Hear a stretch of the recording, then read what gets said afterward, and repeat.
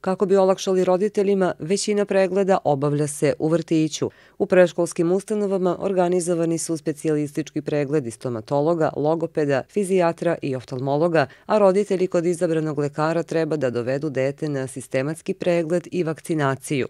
Dete obavlja kompletan sistematski pregled, merenje telesne visine, težine, e, merenje krvnog pritiska, e, procene stanja, kičme i tako dalje i dobiva e, vakcine koje je dete već ranije dobijalo u nekom uzrastu, znači do godinu dana i MMR koji je dobio posle godinu dana, dakle dobile difteriju i tetanus i poliomijelitis i dobiva vakcinu protiv MMR, vakcinu protiv mumsa, malih boginja i rubeole.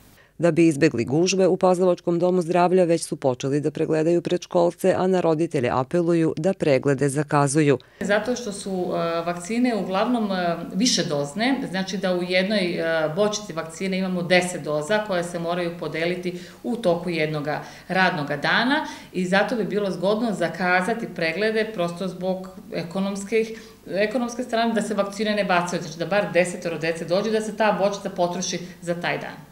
U dve preškolske ustanove u opštini Stara Pazova u preškolskom pripremnom programu je 730 dece.